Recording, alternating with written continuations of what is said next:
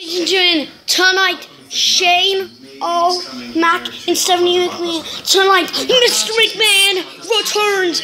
I know you're probably thinking, I gotta go back and hear. Mr. McMahon returns tonight and is choosing between Shane O'Mac and Stephanie McMahon. Also tonight, Brock Lesnar returns. And also tonight, the New Day broke in to the Wyatt uh, house.